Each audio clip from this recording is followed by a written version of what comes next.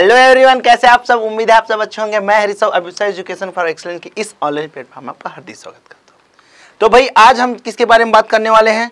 आज हम बात करने वाले हैं कक्षा दसवीं विज्ञान का चैप्टर नंबर कौन सा भाई? चैप्टर नंबर हम बात कर रहे हैं सेवन का, जो कि कौन सा है? यूनिट नंबर एट का है, जो कि हमें इकट्ठे कितने नंबर दे रहा है सर तेरह नंबर दे रहा है। उसके बारे में आज बात करने वाले हैं, जो कि क्या है भाई? जो कि आपके बायोलॉजी से संबंधित है और हमें आज डिस्कस करना है, जो चार अंक वाले जो प्रश्न है, उस पर डिस्कस करना है। सर चैप्टर नाम क्या है? चैप्टर का नाम ये है सर कि जो आप, क्या है भाई, जैविक प्रक्रिया जो है, पोषण, परिवहन, श्वसन और उत्सर्जन की जितना भी आपके प्रॉपर्टीज़ है, जितना भी गुण है जैविक प्रक्रिया में, जितना भी मतलब जीव का जो प्रक्रिया है, बोले तो जो आपके बोल सकता हूँ, क्या मैं लाइफ का प्रोसेस है। अब देखो यहाँ से क्वेश्चन उठता है लाइफ का प्रोसेस है सर तो इसको हम क्या पढ़ रहे हैं? तो हम ये पढ़ रहे हैं कि जो पोषण, खा रहे हैं सर, खा रहे हैं तो फिर जा रहा है अपने बॉडी में, जो एनर्जी बढ़ रहा है।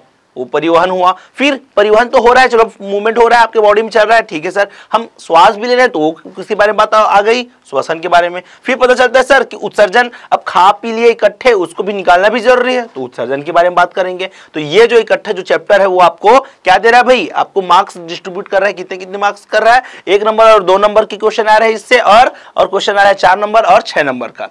चूँकि हमें तीन चैप्टर दिया गया है इस यूनिट में तो धीरे धीरे हम बारी बारी से एक चैप्टर की ये खत्म करने वाले हैं, उसके बाद हम चलेंगे दूसरा चैप्टर है ना? जिसमें हम पढ़ेंगे किसके बारे में? हम पढ़ेंगे जो नियंत्रण और समन्वय है, उसके बारे में हम पढ़ेंगे, उसके बाद लास्ट टाइम जो अपन डिस्कस करेंगे बच्चों, वो पढ़ेंगे किसके बारे में? जो आपके प्रजनन वाली जो है रिप्रोडक्शन उसके बारे में हमने पोर्शन को पढ़ेंगे भाई। तो यहाँ तक की बात समझ में आई? अब चलते हैं भाई सर इससे संबंधित क्या क्या चीज़ है, उस पर चलते हैं कि क्या इंपॉर्टेंट क्वेश्चन आया है?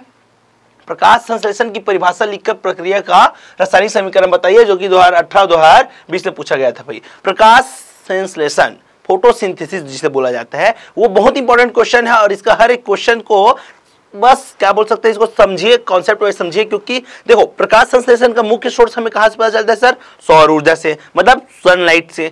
सनलाइट से संबंधित है और क्या ज़रूरत पड़ सकता है, सर? उसके बारे में बता सकते हैं। देखो, क्या बोल रहा है? उसके लिख कर रासायनिक समीकरण को समझाइए, बोल रहा है। तो देखो और कुछ कुछ जो इसेंशियल थिंग है मतलब जो ज़रूरत की चीज़ है, वो उसके बारे में डिस्कस करो, बोल रहा है। तो देखो प्रकाश संश्लेषण पौधे अपने भोजन का संश्लेषण एक विशिष्ट प्रक्रिया द्वारा करते हैं, जिसे प्रकाश संश्लेषण कहते हैं। प्रकाश संश्लेषण की क्रिया हेतु आवश्यक कच्चे पदार्थ के रूप में क्या क्या यूज़ होता है बच्चों?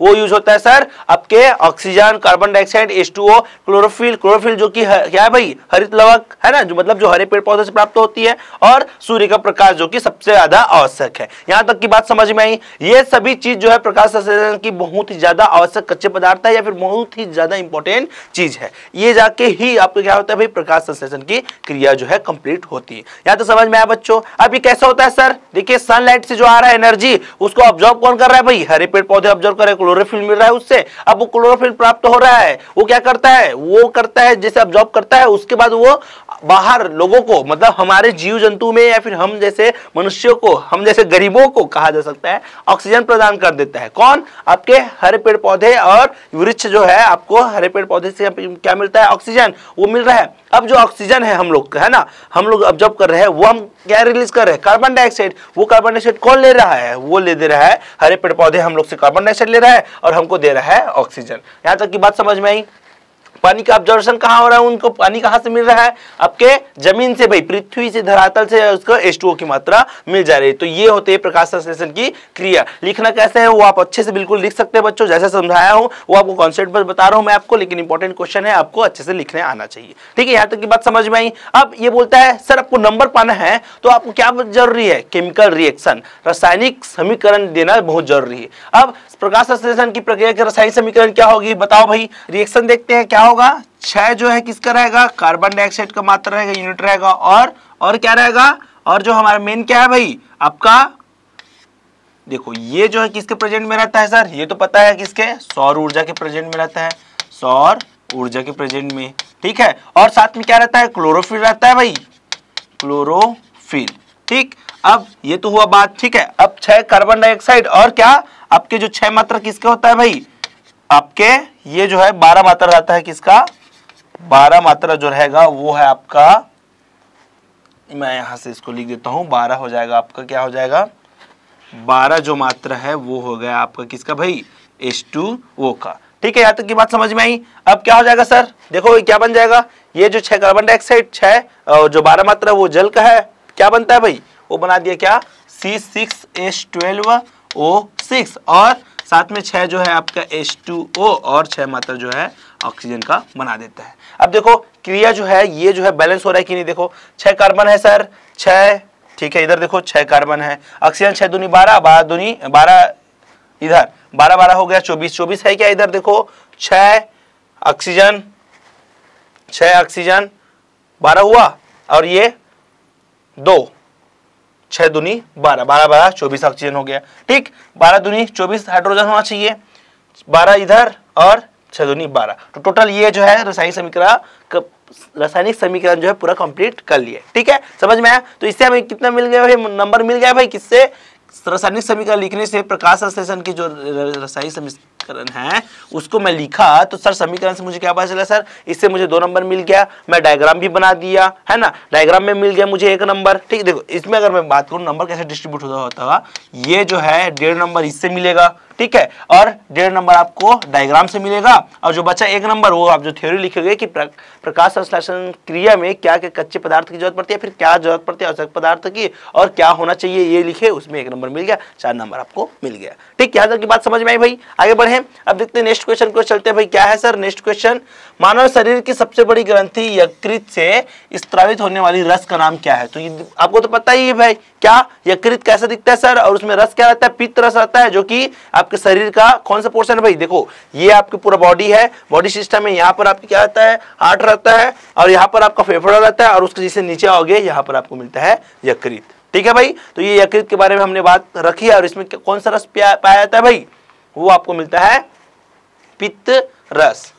क्या भाई?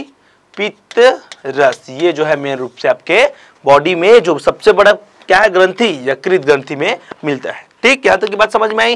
नेक्स्ट आगे बढ़े भाई। अब देखो, ये जो आपको पाचन तंत्र का पूरा सिस्टम जो दिखाई दे रहा है, इसके बारे में मैं थोड़ी देर में आने वाला हूँ, इससे रिलेटेड क्वेश्चन देख लेते हैं, फिर और समझ में आएगा। हाँ हमने बात किया था यकृत का, जो कि यहाँ भाई, यहाँ यकृत है, यहाँ पर पित्ताशा है मतलब जहाँ पर पित्त रहता है, उसे पित्त आशा है जहाँ पर पित्त पाया जाता है। वो यकृत में ही एक पोर्शन है और ये सब जो आपको पूरा दिखाई दे रहा है भाई ये मलाशा है यहाँ से लेकर देखो यहाँ गुदा है और ये जो आपके देखो यहाँ क्षुद्रांत आरोही अनु, अनुप्रस्थ बृहदंत्र और ग्रसिका ग्रसनी ये पूरा सिस्टम जो है पाचन तंत्र के अंतर्गत आता है। तो अब हम देखेंगे मुख गुहा यहाँ से खाना आता है खाना मतलब खाया जाता है वो। ग्रसिका के माध्यम से आपके पाचन तंत्र जो है कहा जाता है भाई? इधर छोटी आँख बड़ी आँख में सब जाता है फिर प्रोसेस कंप्लीट होता है भाई। क्वेश्चन देख लेते हैं फिर समझ में आएगा। मनुष्य के उत्सर्जन तंत्र में कौन कौन से भाग होते हैं, इसके बारे में बताइए। और और ये बताइए साथ में क्या, कि मनुष्य के आहार नाल में पाए जाने वाली क्या अंगों, उसके नाम बताइए। तो देखो बात कर लेते हैं भाई, उत्सर्जन तंत्र में कौन कौन से भाग होते हैं? सर, उत्सर्जन तंत्र में देखो क्या कौन कौन से भाई? एक जोड़ी वृक होती है और एक जोड़ी जो क्या है भाई, मूत्र नलिका होती है, मूत्राशय होती है और मूत्र मार्ग होती है, जिसका मैं डायग्राम आपको छह नंबर क्वेश्चन में जब कराऊँगा तो आपको अच्छे समझा दूँगा भाई, इसके बारे में, ठीक है? और साथ में देखो, और आहार नलिका हाँ ये क्वेश्चन के देखो डायग्राम में जाएँगे। मनुष्य के आहार नली में पाए जाने वाले अंग क्या है? मुख, ग्रसनी, ग्रसिका, आमाशय, छोटी आंत, बड़ी आंत और मलद्वार है भाई। ठीक है? यहाँ तक बात समझ में आई क्या?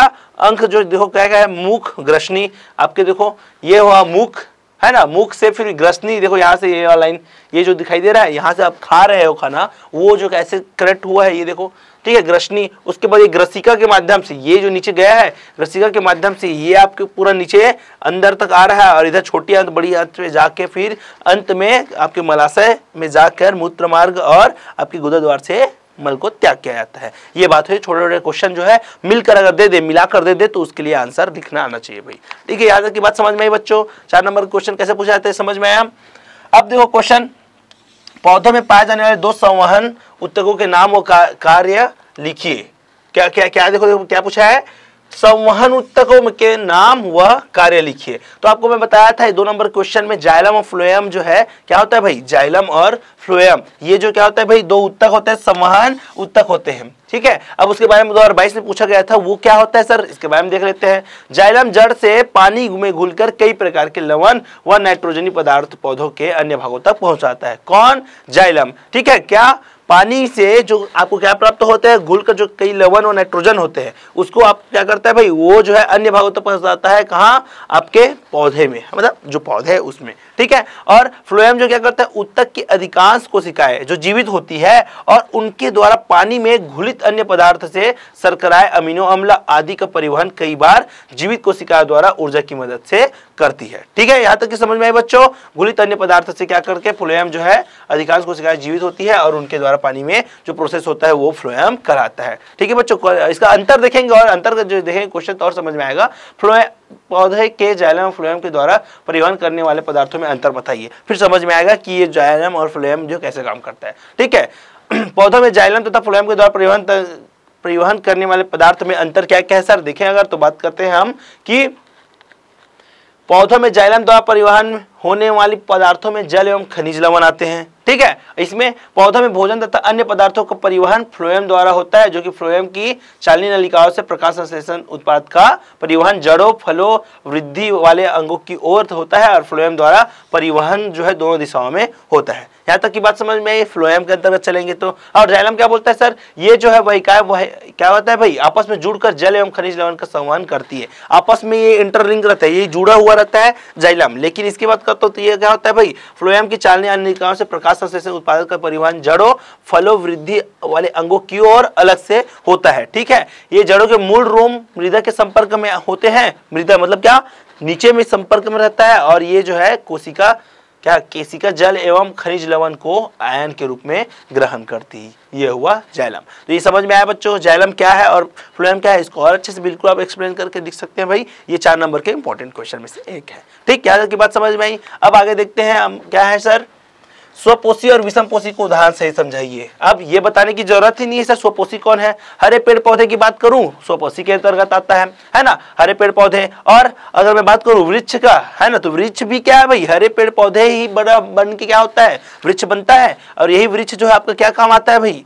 यही तो हमें ऑक्सीजन देने का काम करता है, सर। और हमारे जो बाहर से रिलीज़ होने वाले, जो जीव जंतु से रिलीज़ होने वाले कार्बन डाइऑक्साइड है, उसको खुद ऑब्जॉर्व करने का काम आता है आपके वृक्ष और पौधों के द्वारा। ठीक है बच्चों, यहाँ तक बात समझ में आई? अब इस स्वपसी और परपोसी में अंतर क्या है, सर? देख लेते हैं।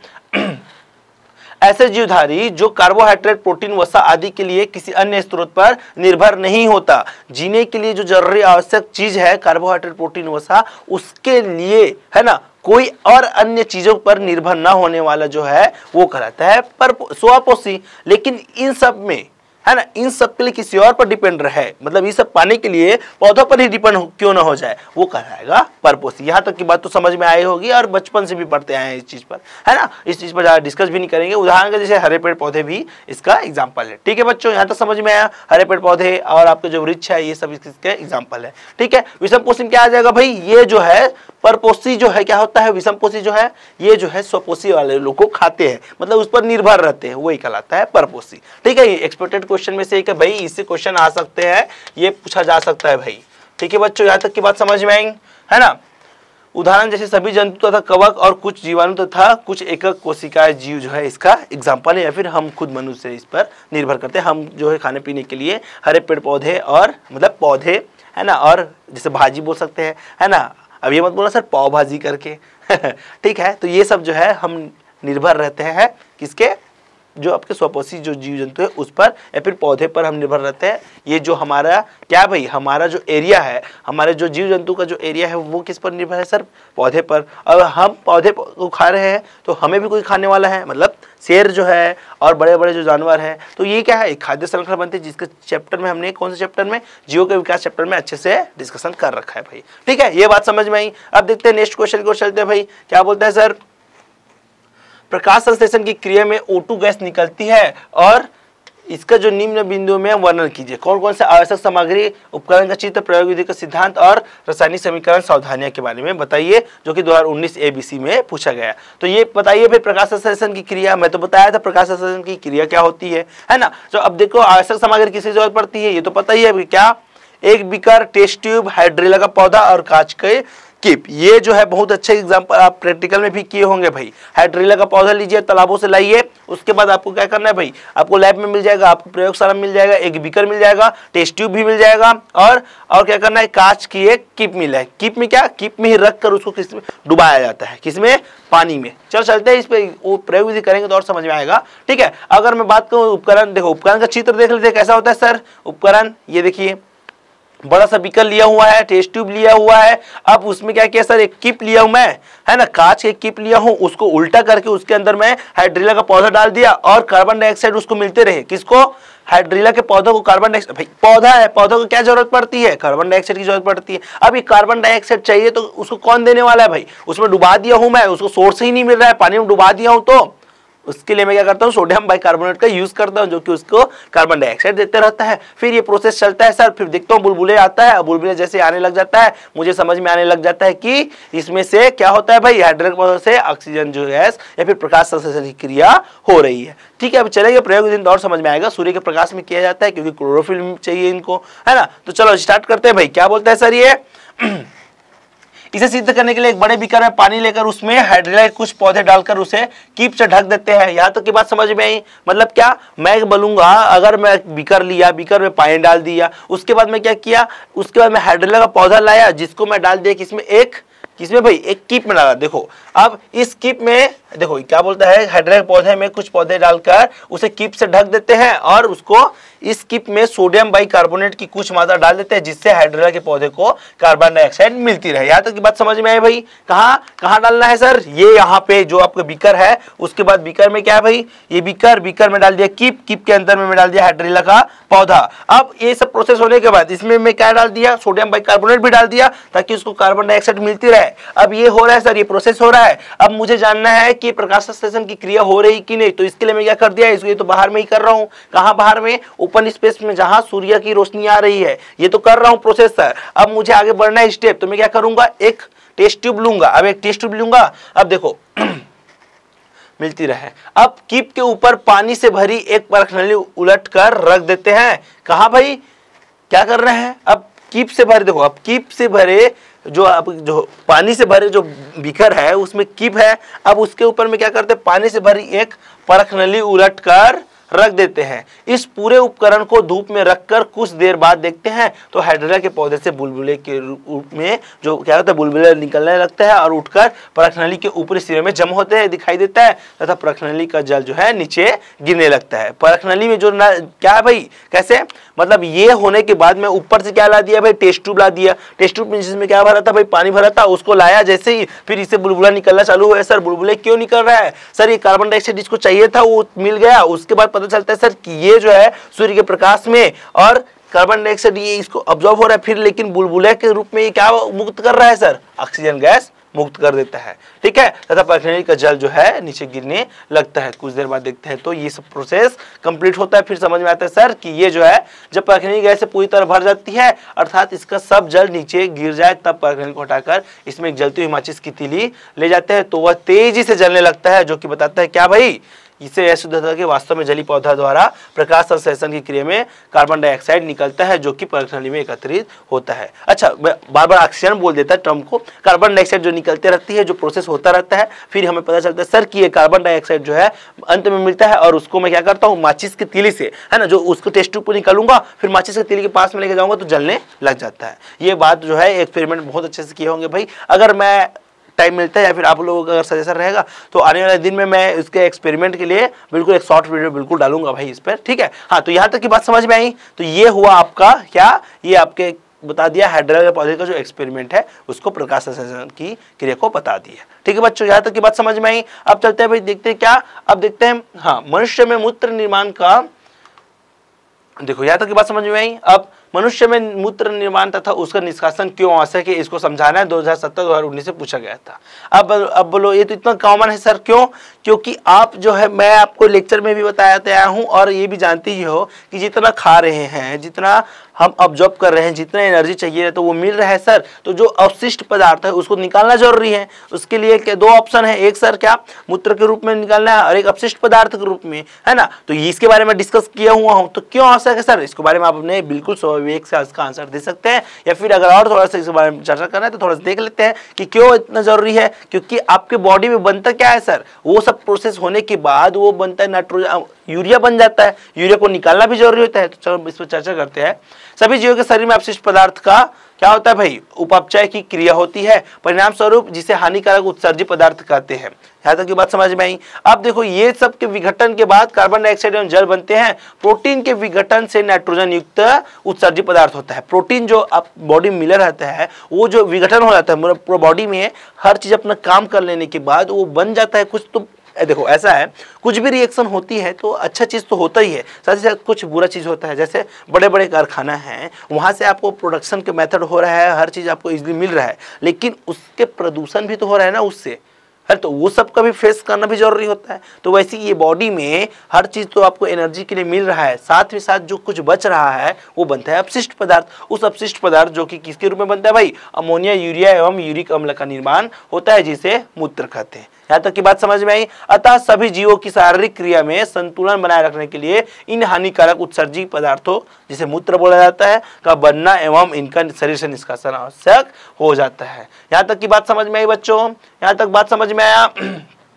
तो मैं क्या बोल रहा था भाई? देखो, ये हम्म अपशिष्ट पदार्थ के बारे में बात किया। अपशिष्ट पदार्थ, है ना? जिसके अंतर्गत मैंने बोला क्या? मल बोला। और मूत्र बोला भाई। तो मूत्र के बारे में अभी मैं चर्चा कर लिया, ये यूरिया के रूप में आपका प्रोटीन जो है डाइजेस्ट होता है है ना? पच जाता है, अपघटन हो जाता है, उसके बाद जो अपशिष्ट पदार्थ बनता है, वो यूरिया के रूप में है ना, वो क्या होता है भाई, आपके बॉडी से निकल आ जाता है, ठीक है? अब मल के बारे में हम जब चर्चा करेंगे, वो करेंगे हम, जब नेक्स्ट वीडियो आएगा, उसमें आप छह नंबर के बारे में जब चर्चा करेंगे, है ना? छह नंबर के क्वेश्चन में जब डिस्कस करेंगे तो उसमें और काफ़ी हद तक इस पर चर्चा करेंगे जो कि इंपॉर्टेंट है, छह नंबर का क्वेश्चन आता ही है इससे, ठीक है बच्चों? यहाँ तक के समय, बात समझ में आई? तो इस प्रकार हमने चार नंबर का जो इंपॉर्टेंट क्वेश्चन था पीआईक्यू था, उसको हमने डील कर रखे हैं बच्चों, ठीक है? अब मिलते हैं भाई नेक्स्ट लेक्चर में, और हमारा एग्ज़ाम सीरीज़ मिशन जो कि 2023 चल रहा है, हम पीआईक्यू पूरा डील कर रहे हैं भाई आपके लिए और जितना एक्सपर्ट क्वेश्चन उस बारे में बात कर रहे हैं। ज़रूरी नहीं कि वो हंड्रेड परसेंट एग्ज़ाम में ही आए, लेकिन इससे मिल जुलते या फिर ये बोल सकूँ, इससे रिलेटेड क्वेश्चन हो सकता है कि वो रिपीट भी हो जाए। ये भी हो सकता है कि वो क्वेश्चन जो है उसी को दूसरे तरीके से दे दिया जाए कॉन्सेप्ट वही रहे। तो आपको घबराना नहीं है, बस आपको पी क्यू हमारे साथ लगे रहना है, हमारे साथ प्रैक्टिस करना है और साथ ही साथ अपने, क्या भाई, जितना भी क्वेश्चन है, जितना भी आपके कॉन्सेप्ट उसको रिविजन करते चलना है। ठीक है बच्चों तो आज के लिए इतने करते हैं। मिलते हैं भाई हम नेक्स्ट लेक्चर में। धन्यवाद।